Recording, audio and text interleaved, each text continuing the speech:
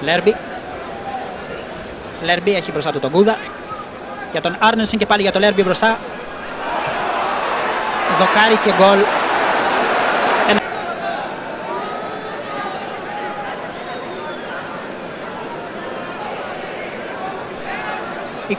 27ο λεπτό της συναντήσεως Ελλάδα-Δανία στο γήπεδο του Χαριλάου παρουσία 20.000 θεατών.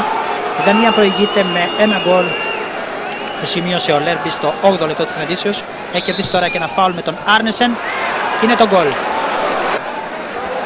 Με τον ε, Γιώργο Κούδα.